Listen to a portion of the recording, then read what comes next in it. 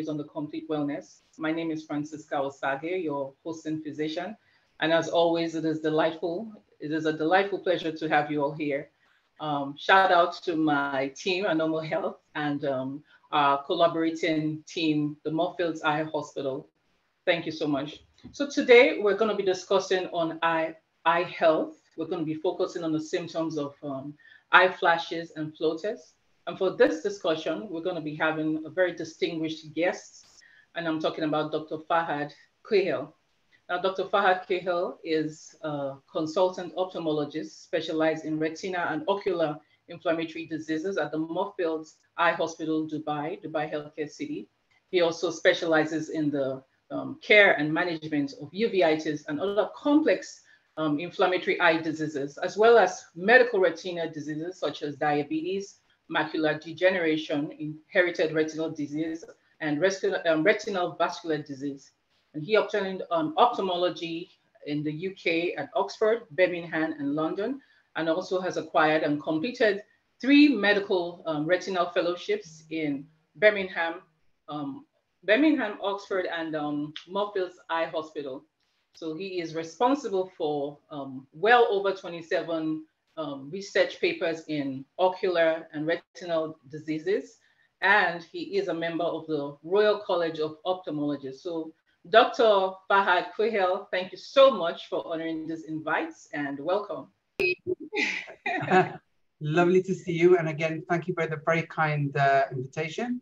And like you say, um, I, am basically a, a, consultant, worked in the UK, born and brought up in the UK, worked there most of my life, but it's been great to uh, make this move to the United Arab Emirates and work with Moorfields uh, Eye Hospital here in Dubai. And like you say, um, my kind of my specialist interest is in in in any general eye problem. Um, no eye problem is big, too big or too small. But yes, my specialist interest is in uh, medical retina disease and of course um, ocular inflammation. That keeps me uh, busy, busy, busy enough. And again, thank you for the kind invitation to tonight's uh, webinar. Thank you so much, as always. Okay, so back to our discussion on um, eye health. You see, um, in our discussion, we're going to be, like I said, um, focusing on the symptoms of eye flashes and floaters. So it appears to me, and correct me if I'm wrong, most times there's certain symptoms, eye symptoms that trigger patients or people, and then there's that prompt call to call on their primary care physician or the eye specialist. There's some on the other hand that people might, you know, just overlook and like, okay, well, I can always see my um, doctor anytime. And I feel the eye floaters and flashes might fall in that category. So I'm hoping today we actually um, shed light on the importance of these symptoms and the related conditions they are um, affiliated with. But before that, let's clarify um, something. So the concept of that eye specialist and who to see um, there are times I've met people and I ask them, okay, you have a problem? And they're like, okay, yeah, I, I met an eye specialist. Or, who exactly? Uh, I think uh, a, an optometrist or. Uh, so there's a confusion in those terms, the optician, the optometrist, the ophthalmologist. Can you please clarify who these um, eye specialists are and what exactly is the role? So the role of an ophthalmologist, an optometrist, an optician, what and who now is responsible for this? Can we can we clarify that once and for all? Uh, honestly, Francisca, you hit it on the head. It was uh, definitely something that used to annoy me in my early days as a eye doctor. it annoys me less now, but you're right. The general public think an optometrist is the same as an ophthalmologist, and they're not. Mm. An optometrist is a very bright, capable, professional individual who's done a degree in optometry, who is specialized in the refraction and testing of eyesight, of examining an eye, identifying potential problems, but referring you to an ophthalmologist who is an eye doctor. An ophthalmologist is somebody who specializes in the medical and surgical management of eye problems. So we don't tend to refract for glasses. We tend, we do sometimes, but we tend not to prescribe glasses. And our main role is in the diagnosis and the medical and surgical management of ophthalmic disease. We need ophthalmologists, we need optometrists. Of course, yeah. we need more optometrists because we need them in the community to identify problems. But actually, they're the first step in the ladder where they identify the problem, but then it's very important that they then refer you appropriately to an ophthalmologist for a formal diagnosis, for a more advanced, more experienced assessment. Uh, and their training is different. Uh, the optometrist is a three year degree, and then they will be working in the high street, seeing patients independently. An ophthalmologist would have be, done five years of medical school, done two years as a general medical doctor, and then 10 to 11 to 12 years postgraduate medical training before they're allowed to work independently as a consultant.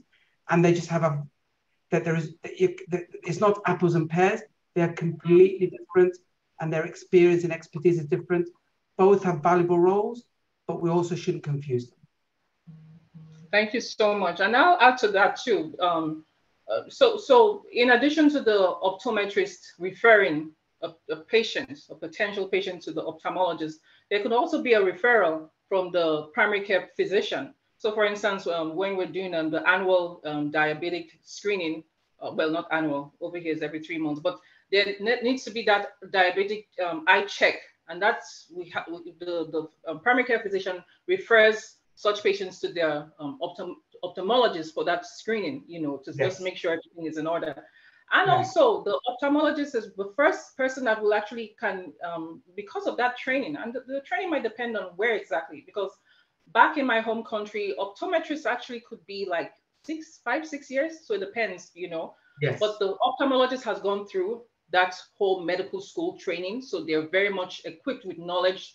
Um, every other person that has finished medical school has and they're able to identify, even at times before the specialist, the medical specialist or surgical specialist, they're actually able to identify an eye problem that could be manifesting, you know, systemic problem that could manifest with ocular problems.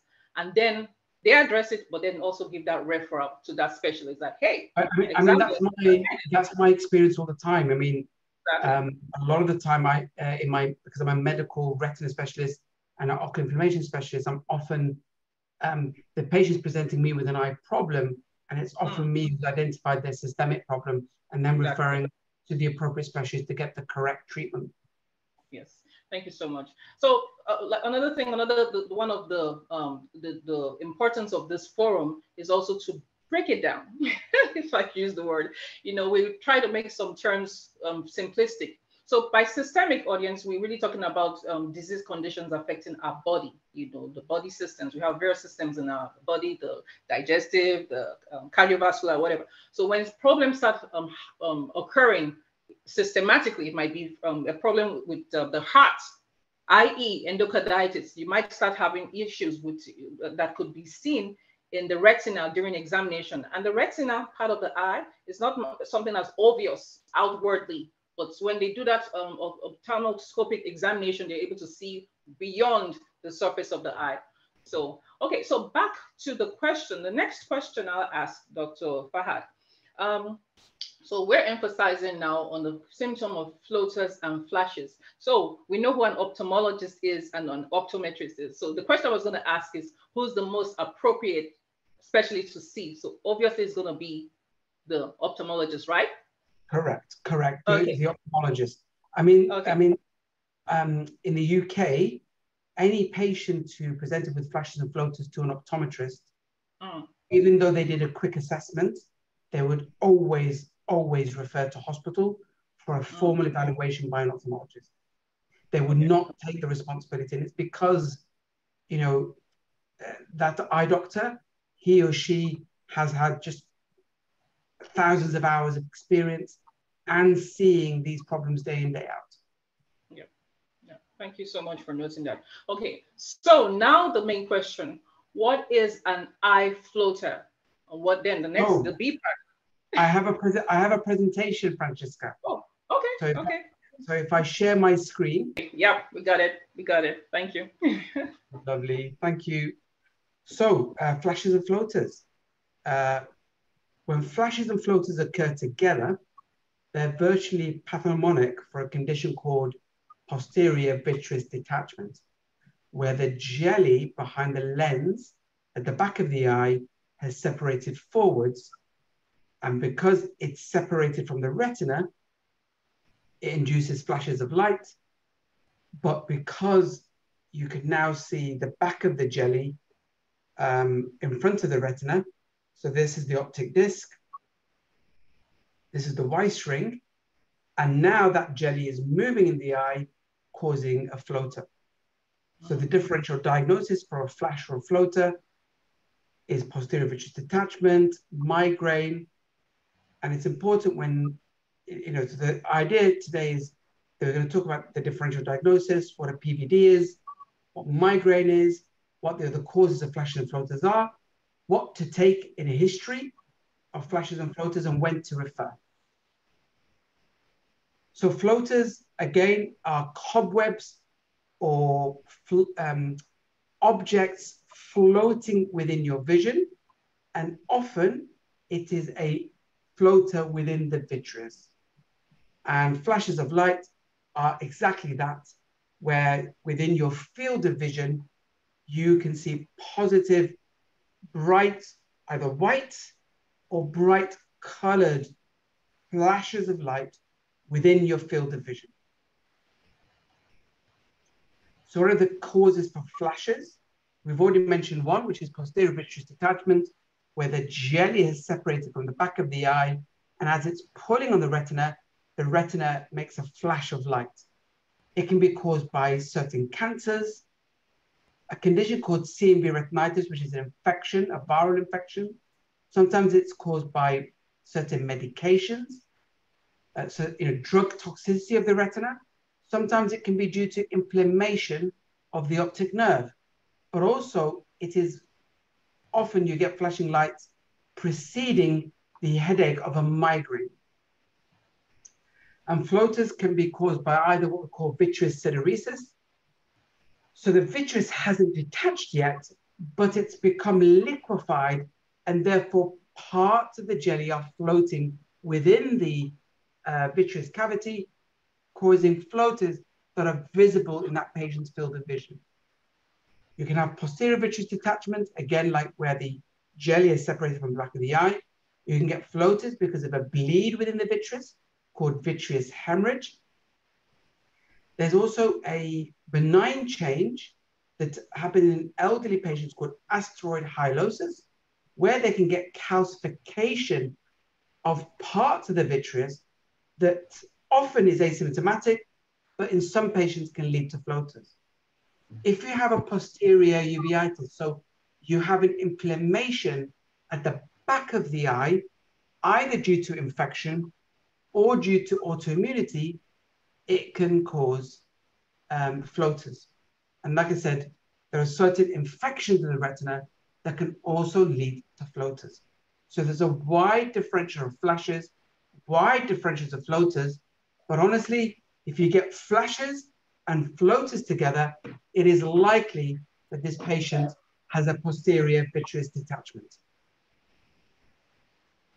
So hopefully by the end of today, you'll know how to diagnose confidently a posterior vitreous detachment, a mm-hmm. migraine without headache, and have a high index of suspicion if it's not a PVD or a migraine if there are unusual features of the flashes or floaters or they have other symptoms. So let's dive in a bit more on posterior vitreous detachment.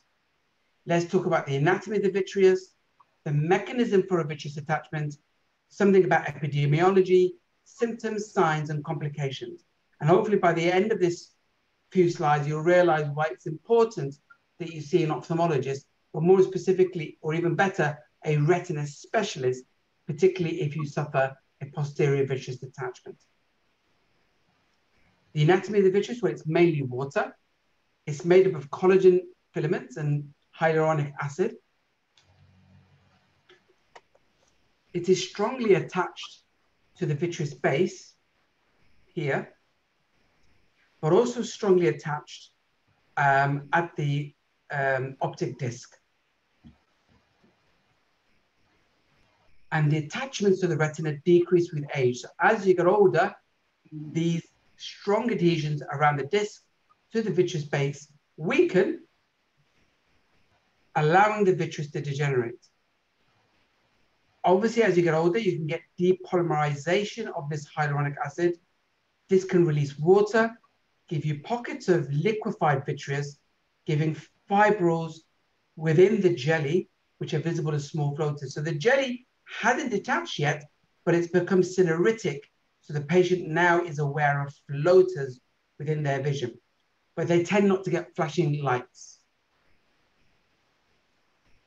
Or the, the attachments to the nerve become weaker, and then the jelly comes forward, giving you a large floater called a Weiss ring at the back of the jelly. And so then when the patient moves their eye, this is moving within the, within the eye, causing a floater to cast a shadow on the retina, which is visible as a floater within their field of vision. what are the predisposing factors to PVD? Age is one. So as you get older, you're more likely to develop a PVD. And what I often say to patients is that most of us in our lifetime will suffer a posterior vitreous detachment. If you're short-sighted, because your eye is longer, the jelly is a little bit weaker, is more predisposed to a vitreous detachment. If you've undergone cataract surgery, because there's a disturbance in the shape of the eye whilst you're having this surgery, that can lead to a separation or a vitreous detachment after surgery. If you have trauma, so somebody's punched your eye or a stone object has gone in the eye, because of the shift in the shape of the eye, it can forcefully separate the jelly, causing a vitreous detachment or if you have inflammation at the back of the eye over time, that can weaken the vision, sorry, weaken the vitreous, causing a vitreous degeneration. So like I say, over the age of 70, about 60% of us will develop a vitreous detachment with you know, only 10% between the ages of 50 and 60 and 20% between the ages of 60 and 70 but most of us in our lifetime will develop a vitreous detachment. And if a PVD is present in one eye, there's a 73% chance that it will develop in the fellow eye if the patient is greater than 60 years of age. So what are the symptoms of PVD? In most patients, it's completely asymptomatic. So they have a separation of the jelly the back of the eye, and they are oblivious to any problem. In some patients, the separation of the jelly can cause flashes alone. In others, it doesn't cause any flashes, but it causes a floater. And in others, it can be flashes and floaters. And occasionally, they can get symptoms from a complication of vitreous detachment, so about one in 20 of patients, the separation of the jelly or the adhesion between the vitreous and the retina is so strong that as the vitreous separates, it tears the retina, leading to a vitreous hemorrhage, and worse, a tear in the retina that, if not treated early, can lead to retinal detachment with consequent loss of vision. So why do you get flashing lights from a vitreous detachment? Well, it, because the retina only knows how to do one thing, and that's flashes of light, it tends to be peripheral arcs of light, like a lightning streak. It occurs in eye movement. It's best seen in dim lighting, and it's very brief but recurrent, and usually precedes the onset of floaters, and may persist for months to years floaters from a PVD. So this is the back of the jelly. So as you can see, you've got a Weiss ring there that's in front of the optic disc. And as the, and now that it's separated, as the jelly is moving, the floater is moving, causing a moving uh, object within your field of vision. It's much more prominent than small floaters from vitreous syneresis. And it's due to the Weiss ring or prominent hyaloid membrane. And it may be described as a curtain, shadow, or blurring of vision, but the patient can see through the curtain or around the shadow. What are the complications of PVD?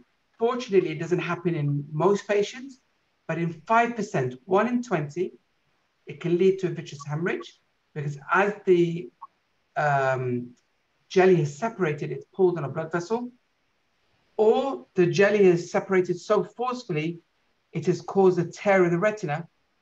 And eventually, if this tear is not identified quickly and treated, fluid can seep behind the retina, causing a detachment of the retina. So basically, the retina comes back from the uh, from the wall of the eye like wallpaper, and if not treated again with surgery, can lead to blindness and permanent loss of vision.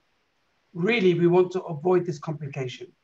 We want to pick the patient up at this time, which is why it's important that if you develop a PVD, that you have a full assessment by an ophthalmologist to identify that one in 20 chance of having a complication and for it to be treated and preventing harm and irreversible vision loss. Hmm.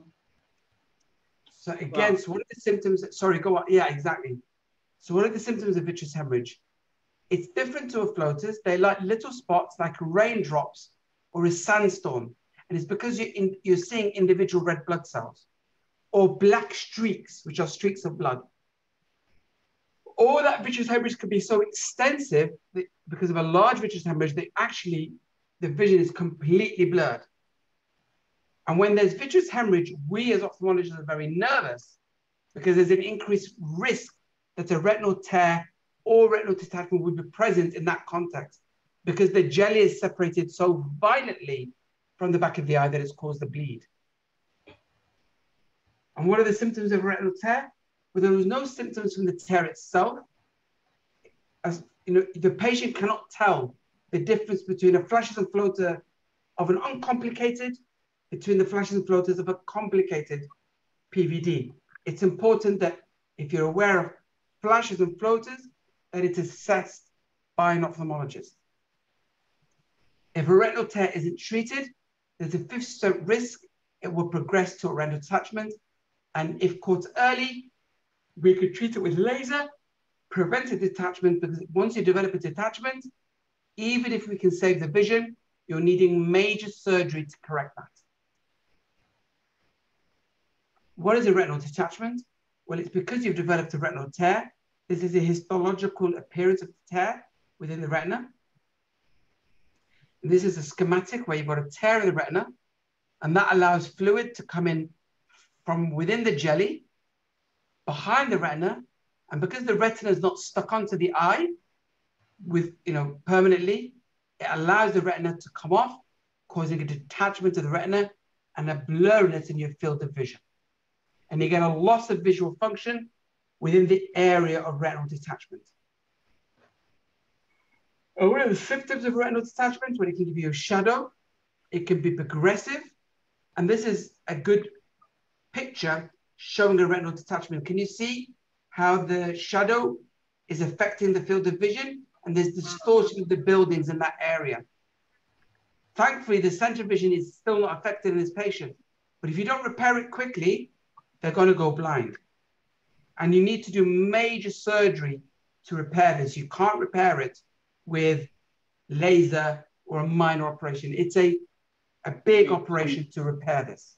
And you want was if the patient saw the eye doctor quickly, we might pick up the tear without a detachment and treat them early and keep them from harm's way. So what is the a prognosis or a natural history of a symptomatic posterior vitreous detachment, where the risk of developing a tear is about 8%, and the risk of developing a detachment is 3 to 7% in a symptomatic PVD. So that's quite high odds. And if a detachment develops, it usually occurs within the first six weeks. So what is a migraine? Sometimes you get a migraine aura without headache. It can occur in any age, but it's more common with increasing age. And in most patients, the first occurrence is over the year of 50 years.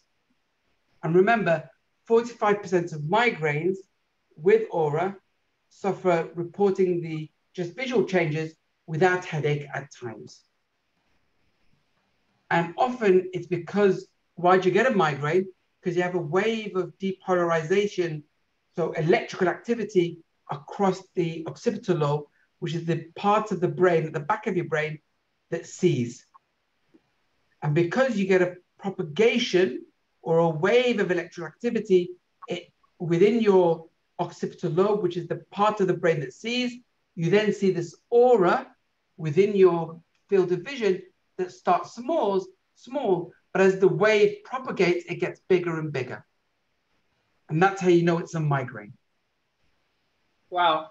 Thank you so much. Um, okay, forms of migraine. So really, because of the time um, constraint we have, we really might want to really focus, be more um, specific. And this is a very beautiful, beautiful um, presentation. And there's just so much, you know, to download. I'll, I'll very quickly just take go through no, the history. No problem. No problem. Thank you. Just a reminder. So when you're taking a history of flash of light, okay. What are the flashes of light like? Is it an arc of light? Because PVD doesn't give you colored or jagged lights. Where in the vision are they? In vitreous detachment, it tends to be peripheral. How long does it last for? Again, in a posterior vitreous detachment, it tends to be intermittent, like lightning flashes. And when does it, how does it develop? Oh, I move my eye, that's when I tend to see it, or I tend to see it in the dark. Is the vision affected? No, the vision is affected. That's in keeping with vitreous detachment. If the vision becomes affected or it's colored and it starts small, gets bigger, it's likely to be a migraine uh, without aura or with, with a headache. When do the flashes occur? If it's at eye movement and at night, it's more likely to be a vitreous detachment. And also ask about timing. And then what floaters, ask about how the floaters, what the floaters are like, size, number, is it see-through? Do it move with the eye movement? Are there any flashes of light? Is the vision affected? Timing, when did it start? And any features like retinal detachment. So is there a permanent shadow in your field of vision? If there is, get them to see an eye doctor urgently. Is there any short-sightedness? Any previous eye surgery? And why do we need to refer a PVD? And I would argue you need to refer all patients with PVD to exclude a retinal tear and retinal detachment. And a ret because if you can identify a retinal tear with when, when it hasn't detached, you can treat it urgently with laser and prevent the retinal detachment developing. And if you, God forbid, should develop a retinal detachment, you want to identify it early enough before the macula is involved to ensure the best visual outcome. And surgery is very rarely considered for floaters and only ever in exceptional cases and in patients with persistent symptoms who are significantly perturbed by vitreous floaters. And when to refer PVD if they have symptoms of vitreous hemorrhage, symptoms of retinal detachment like a shadow, if it's within the last six weeks, if they're very myopic, history of detachment in the fellow eye. But honestly, I think you're better off referring all of these patients to have a formal assessment by an eye doctor to improve the safety and the optimum um, assessment of these patients. And what do we do with the PVD when we see them? We tend to dilate them, so it's nice to warm the patient that they may have drops put in their eye to dilate the pupil. That may blur their vision, but it allows for a much more enhanced and um, uh, um, improved quality of assessment of the fundus so we can confirm the diagnosis, exclude a tear, exclude detachment. And we, I tend to follow them very, very closely in my clinic. So I tend to see them every few weeks for the first six to eight weeks. Then after eight weeks, I see them every month for the first couple of months. And then I see them up to about four to six months. If there's no problem, I tend to discharge. And then I advise them to come back if they've developed any new symptoms like an increase in floaters or shadows. And like I say, We very rarely operate on these patients because of the, the fact that it's annoying, but so long as they've not developed a tear or a detachment, these floaters don't cause any harm in the vision. They're just annoying. And invariably, most of the time, the vitreous will continue to separate and eventually that floater will disappear out of that patient's field of vision. So in summary, flashes and floaters together often is due to vitreous detachment. Flashes alone may be due to migraine aura without headache. There's a small risk of retinal tear and detachment with a PVD. As for symptoms or history, which may increase the risk of retinal tear, retinal detachment, i.e. previous surgery, myopia, and the risk of detachment is considerably reduced if the symptoms are greater than six weeks, but there's no harm in that patient be, being assessed if they come to you with this complaint. Thank you very much indeed. Wow, wow. Dr. Fahad, thank you so much. That was a very, very big, big lecture, interesting, and so much of information there to unpack on um, um, floaters and flashes. So we do, we um, get the importance, the significance, especially when it comes to the retinal detachment now. That is when we're really like bothered as an this is a case of emergency. We don't want it to progress to a case where we have a retinal detachment. Well, basically, it starts off with the posterior vitreous detachment, right? And if yeah. we remember in the anatomy of the eye for our audience now, those that are very um, aware of basic um, science or you know biology, when we have that eye, the, the retina is the part of the eye, the back of the eye that actually um, receives visual signals. You know that is where the the vision is imputed before it gets to the brain for interpretation you know? So i guess when the the, the posterior uh, vitreous is detached it's almost like the image now is being um, focused on the retina. The the, the yeah, those so are seen as the floaters and the flashes right? So normally the jelly comes the lens is here and the, the vitreous is all the way attached to the retina okay and what happens, and it's attached very firmly. But then what happens with age, those attachments become weaker. And so it lifts up. But as it mm. lifts up, it pulls on the retina very slightly. And the retina is made of light sensitive cells. So it gives a flash of light. Okay. And when you move the eye, the jelly is moving and it's pulling on the retina, causing a flash of light. Okay. Then as it's separated, and you're moving the eye, what is happening is as it's, as it's moving, it's casting a shadow on the retina, which then appears to the patient as a cobweb or as a circle in their vision, where they okay. can see through it, but it's very mobile. Okay, so thank you so much for that explanation. We have uh, we have so many questions right now, and um, and we are we, um, to our audience, please feel free. I'll we'll try as much as possible to address all these questions. So I'm going to go straight to the questions, Dr. Fahad. Um, the first question I see here, I'll read. I had a surgery to correct a retinal detachment on my right eye and had a laser treatment on the left one. Is there a way to clear eye floaters? How do you monitor eye floater to ensure that you are not at risk to retinal detachment? So that's the first question. The second question I'll address, but let's see if we can um, address that first of all. So Dr. Fahad? So there are treatments for floaters. Mm. I don't offer them because of the, the risk benefit profile, in my opinion, is unfavorable. So there are two treatments. One is a laser treatment where they use a YAG laser to clear the floaters, mm. but there's a risk of retinal injury, potentially with blindness. Mm. And so I've taken a mild problem and given the patient a more serious problem. Mm. And in the end, I took a Hippocratic oath oh. First do no harm. Yeah.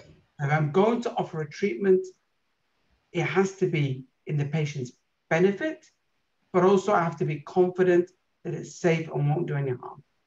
Yeah, yeah. So I don't offer it because I don't think it's in the patient best interest. There is a, another operation which occasionally can be recommended if a patient is significantly affected. So it's so difficult that they're unable to do their job, for example. Uh-huh. Or it really, um, say, I don't know, they're a shooter or a um, a jeweler, and it's the, it's the eye that they're they're doing everything in. You can do an operation where you do the same operation you would do for a detachment, mm-hmm. where you make three tiny holes in the white of the eye, and you suck out and cut out the jelly from the back of the eye. Okay. But again, that's not without risk. It, in, in, in turn, can induce retinal tears, that operation, cause potentially a detachment. But even if, uh, but, and although the risks are very low, it is the benefit, risk benefit profile. Yeah. Also, when you do that operation, the, even if the operation is done very carefully and successfully, it can, and the, the natural lens in your eye can become cataractous and become cloudy over two, three years later. So now you've given a minor problem of floater. Yes, it's upsetting and disturbing, but there's a very high success rate, sorry, high chance that it will disappear from your vision with time. Only a mm. few patients are that unlucky where it persists. But then you've given a minor vision disturbance okay. and potentially induced a detachment which can have impact on the quality of vision. But also, you've gone and given a patient, a patient another operation because then they end up having a cataract operation yeah. a few years later. So it's it's it's you know I don't know if in in, in Nigeria have the saying, but in England it's a, smashing a a, a walnut with a sledgehammer. Yeah. You have a tiny problem and you're you're using a big solution. Mm-hmm. I, I mm-hmm. know it's a long answer, but I hope it gives your the person yeah. who asked the question Definitely. understanding for why we don't think it's a good idea.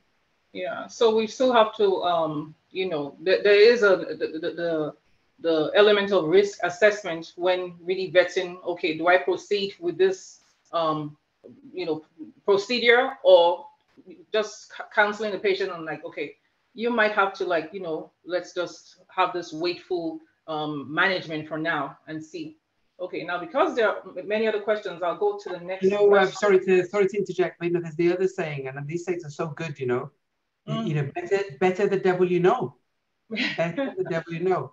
Sometimes the minor problem that you have is better than a major problem that you could have unintended because you, you know. So sometimes it's it's always a risk benefit with mm. any medical intervention. Definitely.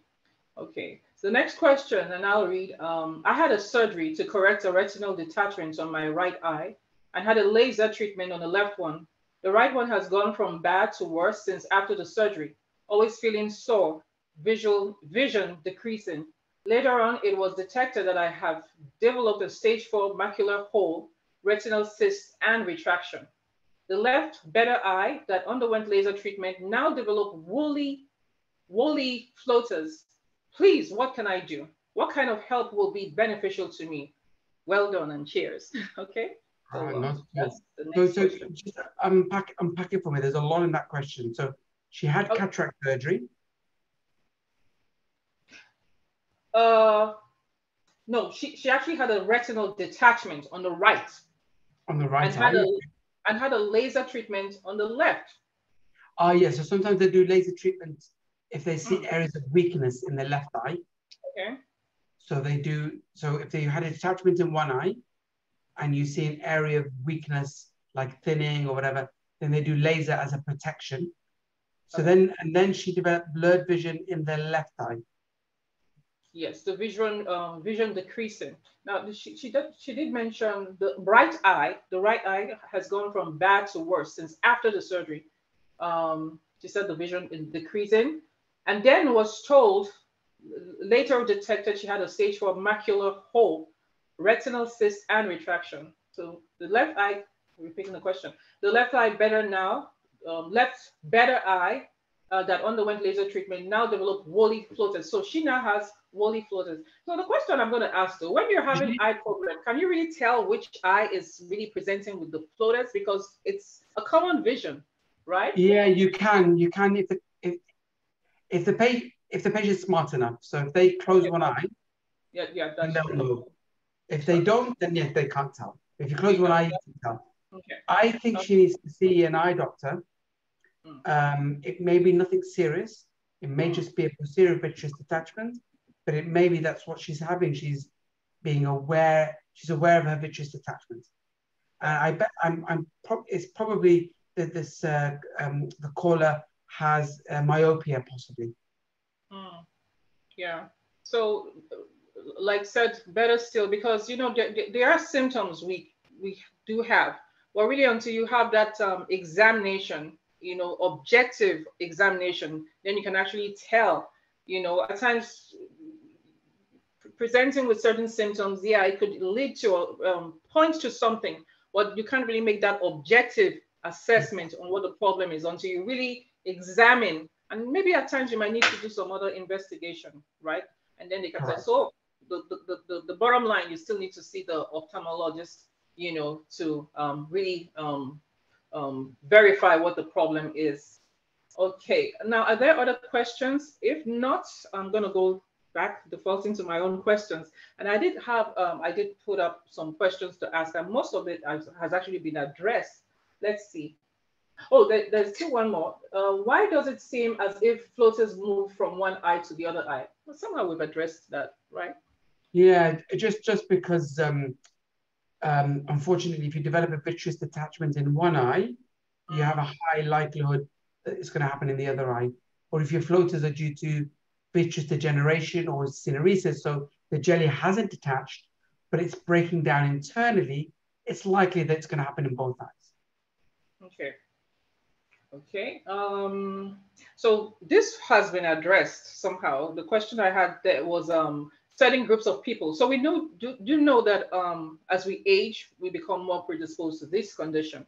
Well, are there other um, a certain group, maybe the nature of the eye, the anatomy now, that might predispose a certain group of people to this kind of condition than other groups. Perhaps is there is that possible a scenario yeah, like that? Um, that, that yes, there, there is a group. so patients who are short-sighted or myopic, because they tend to have a longer eye, and there must be and there's something about their jelly that's inherently weaker, so they're more predisposed predisposed to developing a vitreous detachment. Okay. Okay.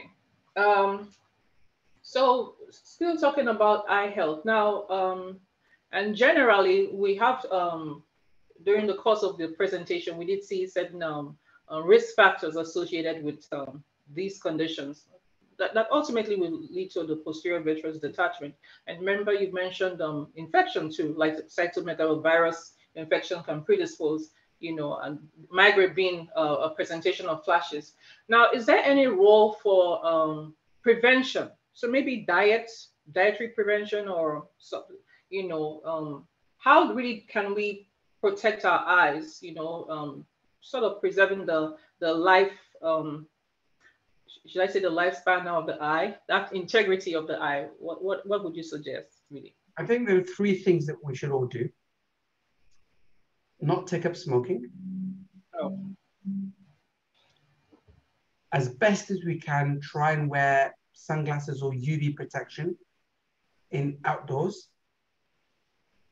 And thirdly, to have a balanced diet with lots of fruits and vegetables, green leafy vegetables, mm. fish, uh, as well as um, eggs, um, because that will give you the vitamins and the lutein and the omega-3 and the fish oils that will all benefit um, your eyes. So if you're like me and you like all those foods, it's perfect. You just have more of them. If you don't like those kind of foods, then you can consider buying supplements. So there are specific supplements that are there in the market that are uh, that have all the constituents that you need for good eye health. Mm. So generally maintaining eye health, and yeah, there's that importance of of um, the sunglasses. you know, protecting us from the UV. And generally, uh, other than um, conditions of cataracts too, uh, those are, you know, wearing sunglasses does preserve the integrity of the eye.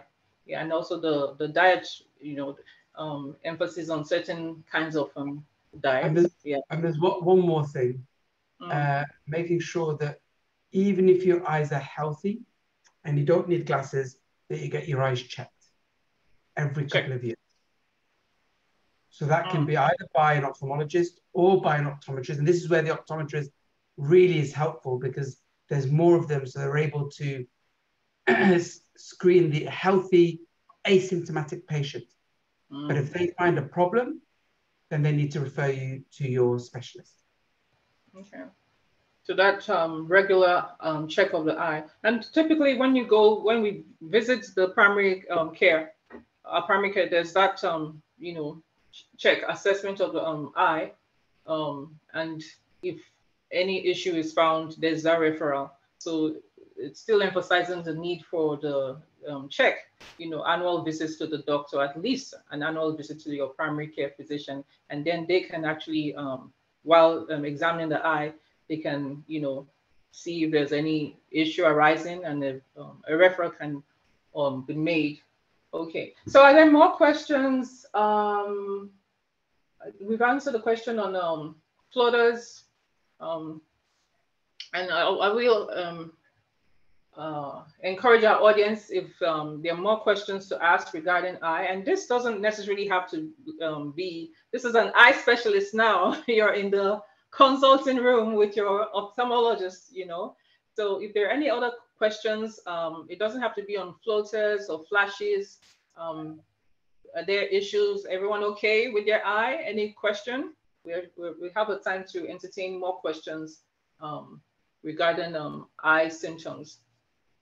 Okay, um, so thank you so much, Dr. Fahad. Um, there's so much to so much to the, the, the, work to unload here on the topic. Um, and um, in the absence of other questions, um, hmm.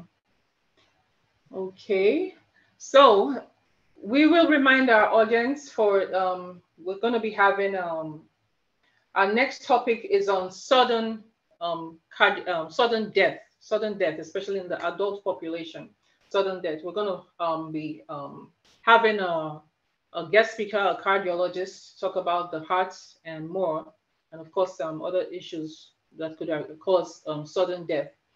So today's topic, um, eye flashes, floaters, we had we had Dr. Fahad again, a consultant ophthalmologist, a guru in eye treatments. Too kind, too kind. yes. So um, and um, we don't really have much questions, um, but there was so much to unload. There's really um, the, the, the, the way of plethora of causes of um, eye um, floaters and flashes. And um, we did mention in case of emergency, where, when do we know this is a case of emergency? We're actually worried about it progressing to a retinal detachment and fear. And once you start to notice that shadow in your visual field, that shadow, you, you're seeing, you're looking straight up, but you're, there tends to be casted in front of your vision, a shadow, and you know it's not in the external environment that is a clue that this might just be a case of emergency and you want you want to um, refer as soon as possible to be referred to an ophthalmologist because if that is not done you can actually we someone can actually lose their vision and once that is done becomes quite um, difficult you know there's some cases it's irreversible right okay and so unnecessary if because you by uh, by presenting earlier mm. you could have avoided any loss to function. Occupation, definitely. Someone asked this question: Is there any type of eye makeup that is bad? It's it's so. you know, I I actually this is a very good question because at times I, I use a lot of mascara.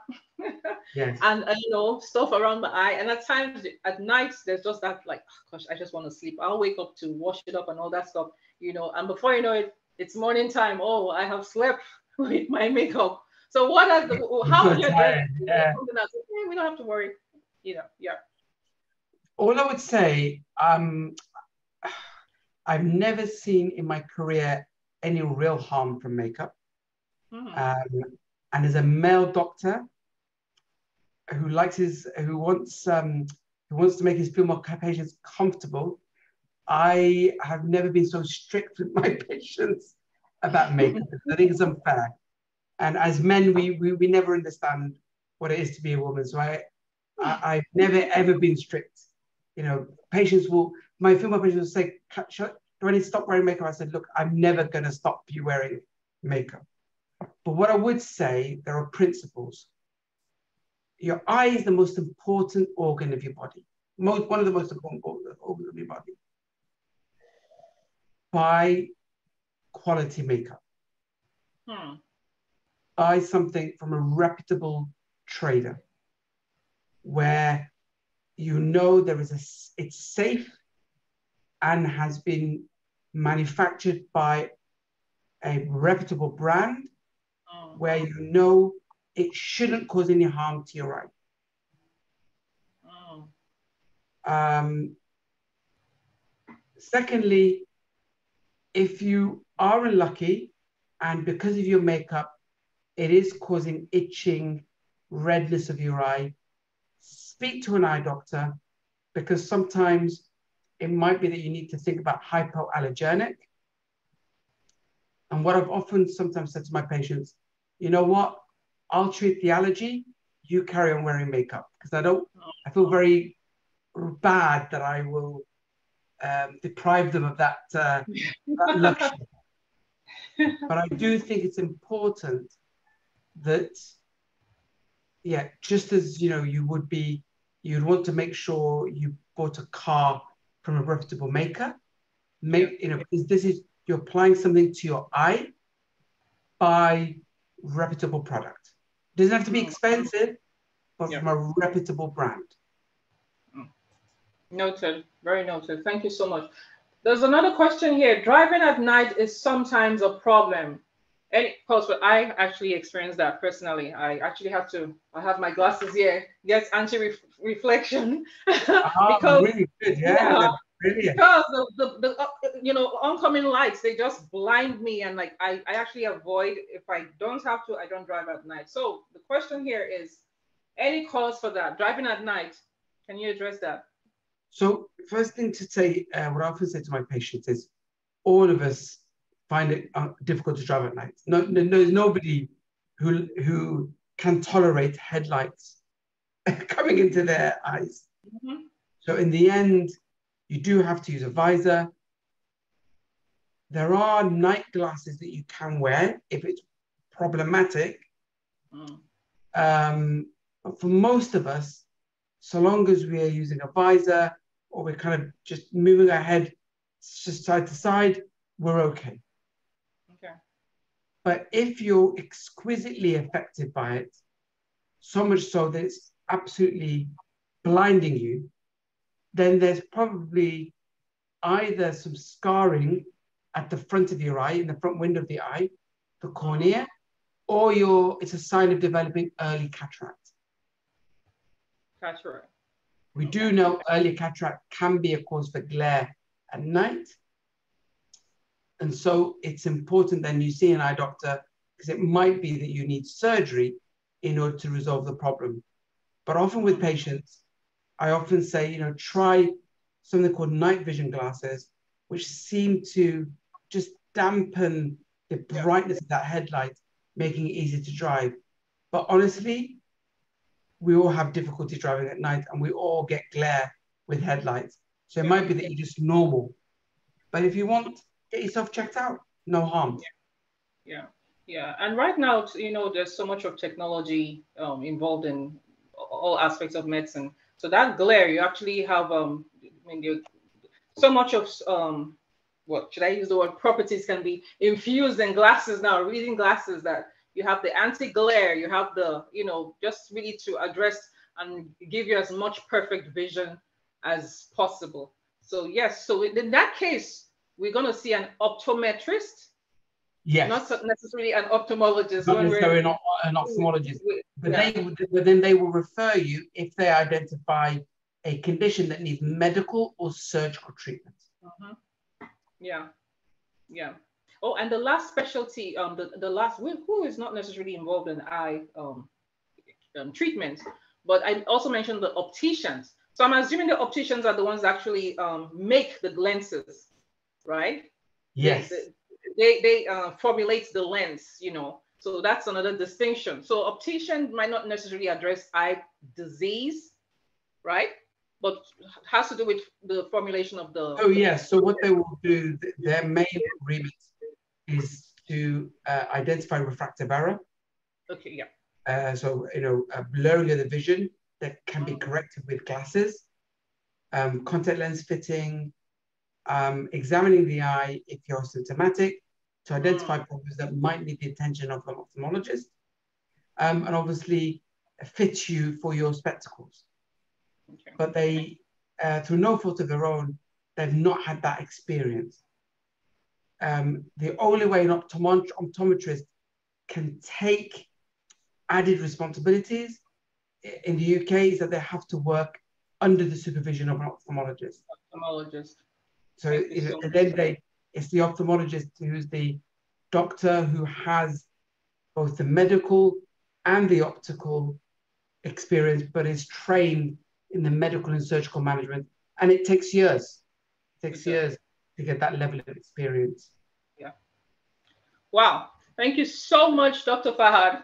And thank you, my wonderful audience, for joining us in this um, webinar. And our next webinar is going to be on the 24th of November. Like I said, the topic is going to be on um, sudden death. Um, and that's a very interesting topic. Um, we'll give you more information regarding our speakers. So um, unfortunately, I think we've um, we, we, we, have gotten to our time limit. So I'm going to be, we'll have to end this um, webinar session. But thank you so much to the Moorfields um, Hospital, Eye Hospital, for collaborating with us for this um, session. Thank you so much, Moorfields, for giving us Dr. Fahad. thank you so much for honoring this invite. And my beautiful audience, thank you. I'm going to see you. Either I or Dr. Chichi will see you in two weeks. So two weeks, 24th? Yeah, two weeks. So enjoy this from here. It's good afternoon. Over there in um, the UK, it's good evening. And is it good night, Dr. Fahad? Good night. It's good night okay. in Dubai. good morning, good, good afternoon, good evening, good night. Okay, you guys, see you in two weeks. See you next time. Take care. Thank you so much. Bye bye.